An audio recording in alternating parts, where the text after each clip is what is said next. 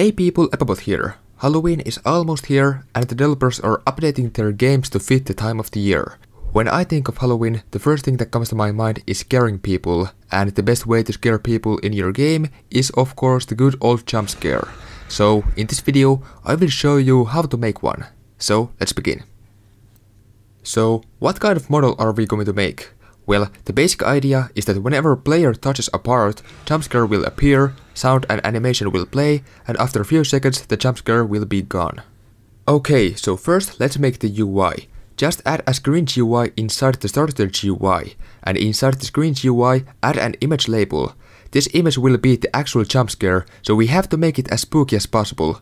You can of course choose whatever picture you like, but I'm going to use this one. Yeah, you might be wondering what in the world is that. I wish I knew, but it is in fact the scariest picture I can find on my inventory, so I'm going to use that one.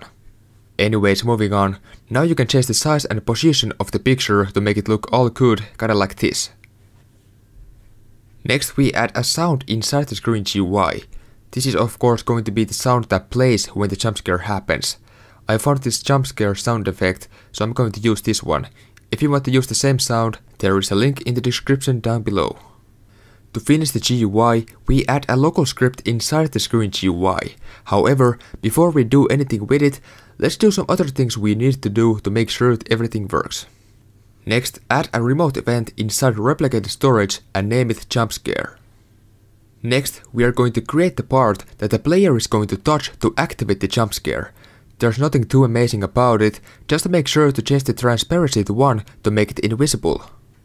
Now add a script inside the part, open it and type the following code. Let me explain what it does. Basically it's a function that plays whenever a player touches the jump scare. Part right here is the body part of the player that touches the jump scare. Next, we check if there's a humanoid inside part's parent, which means it's a player, and if there is, we find out who the player is using getPlayer from character function. And finally, we fire the remote event to the player's client. Now finally, let's go back to Screen GUI, open local script and type the following code. Once again, let me explain what it does. This time we detect when the remote event has been fired to our client. When it happens, we turn the image label visible, play the sound and tween the size of the image. After 2 seconds, we turn the image invisible and change the size back to normal in case the jumpscare will appear again. And after another second, we can use the jumpscare again. We also have this bool variable to add a bit of a cooldown, simply to avoid glitches like this. And there we go, we are all done. If you want this entire model, including the code, just click the link down below, edit the place, and open jumpscare folder. Everything you need is inside of it. Thank you for watching this video. If you like my content, leave a like, comment, subscribe, and turn post notifications on so you don't miss a single video. Also, make sure to check out my other videos, I'm sure you will enjoy them as well. Thank you for watching, and as always, have a nice day, take care.